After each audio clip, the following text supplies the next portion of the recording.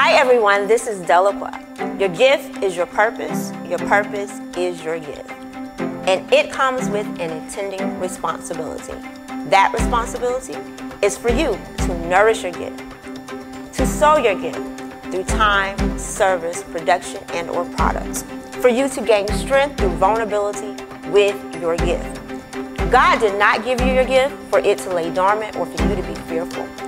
God gave you your gift to enhance the lives of other people. Remember, your gift is not about you. It is solely about you sowing your gift and being a blessing to other people. Always remember that greatness is on the inside of you. Be blessed.